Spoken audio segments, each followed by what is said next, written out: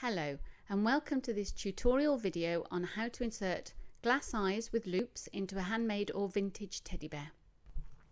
The tools you will need are a long doll needle about 12 centimeters, a pair of scissors, extra strong thread and glass eyes with loops. And of course a teddy bear in need of eyes. Eye position can really alter the personality of your bear so take your time deciding on the correct position before you begin. There are a few tools you can use to help you with this. I like to use true eyes because they also help me decide on the size of the eye I'm going to use. But if you don't have them, bobble head pins will do just fine.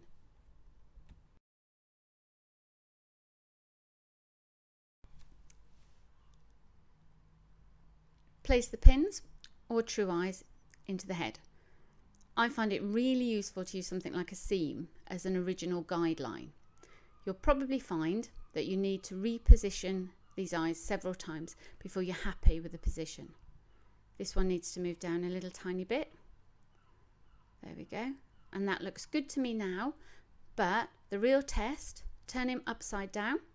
For some reason, viewing your bear from this position makes it much easier to see if those eyes are level and they're not. Let's bring this one into this position a little bit and there. I'm happy with that now. So let's turn him back and have a look. That's great. As a guide, I cut each length of thread to about four times the depth of the bear's head.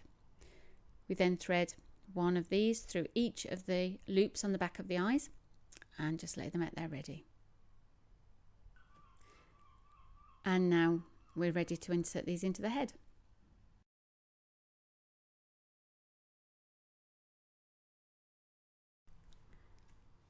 Okay, now we're going to thread these two ends of the extra strong thread through the eye of the needle. And believe me, it might look like I'm doing this first time, but I'm not.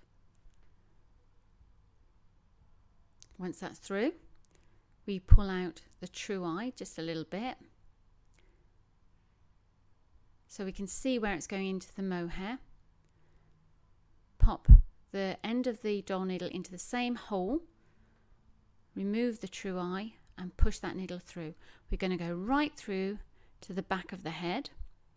We're going to go right down here to the uh, nape, as close to the cotter pin joint as we can without sticking your finger. And then bring it out. Pull it all the way through. Make sure that your eye has gone right in and then pull the threads through the needle and leave those hanging. And don't worry, he didn't feel a thing. He's completely anaesthetized. We're going to give those threads a tug just to make sure the eye is securely in. And we're ready for the next one. We're going to repeat that entire procedure, coming out at the back of the head just a few millimeters away from the first two threads. So I've repeated that procedure and I now have two sets of threads coming out of the back of the head. One for the left eye, one for the right eye. So make sure they're both tucked nice and tight, that you're happy finally with the positioning, that they've both sunk into the head properly. Then you need a, a spare pair of thumbs. Place those thumbs over the eyes and give them a good little push, a bit of pressure, which makes it much easier for you to knot the threads at the back. Give them a last tug. A single knot first of all.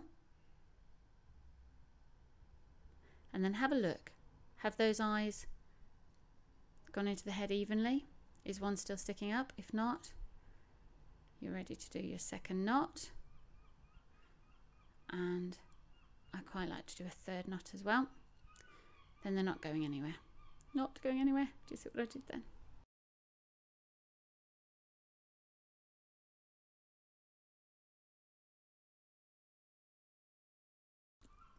And finally, we need to hide these threads. So what we're going to do is pass them through the eye of the doll needle again. I'm just putting two in this time. I'll come back for the other two.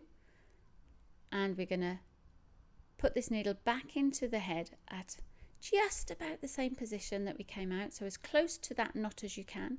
And it doesn't really matter where you come out because the ends of the thread are going to disappear inside the head. So we've come out here and we really pull this tight, as tight as we can, and then snip those threads as close to the head as we can without catching the fabric and they'll disappear back into the head. Repeat that with the other two threads and he's done. That concludes our tutorial video. I hope it's been helpful. If it has, please subscribe to the channel, give us some feedback and a like. There are more videos coming soon.